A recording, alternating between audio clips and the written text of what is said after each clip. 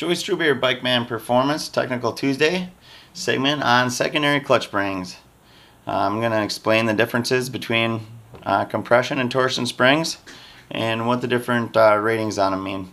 So first off, let's start with a compression spring.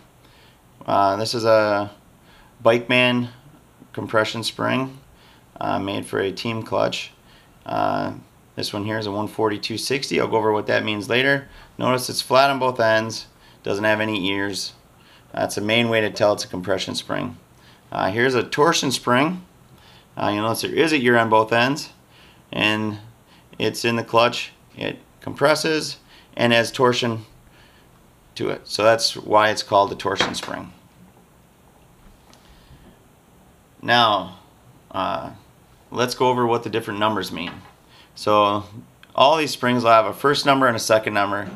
The first number is uh, installed pressure. So when the spring is installed in the machine, in the clutch, it, like this one would have 140 pounds.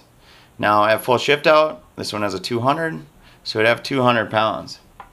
So now let's go over what the numbers mean. Uh, the first number is the low speed.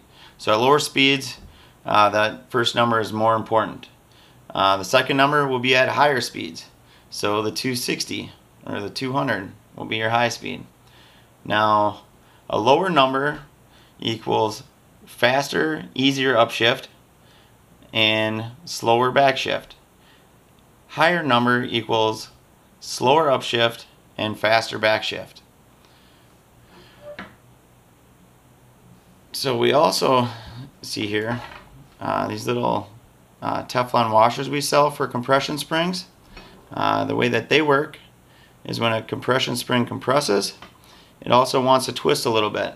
And with when it's just against like a, a metal background, it can slide a little bit and change and create a little bit of torsion pressure when we're only trying to get compression on the spring.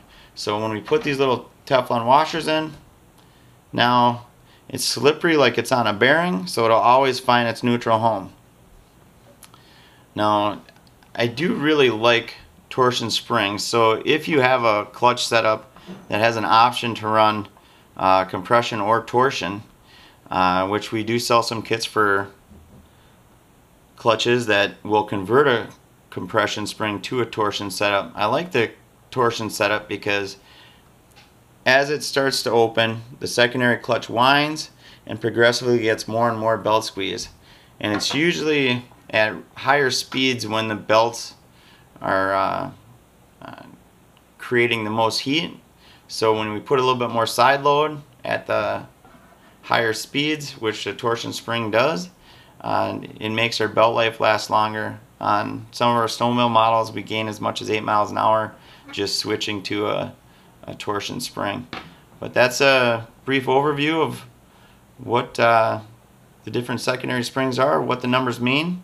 Uh, stay tuned. Uh, hit that like button, subscribe to our page, and I'll see you next week. Next week, we're going to be going over Can-Am X3 flashing with our Bikeman flash tool.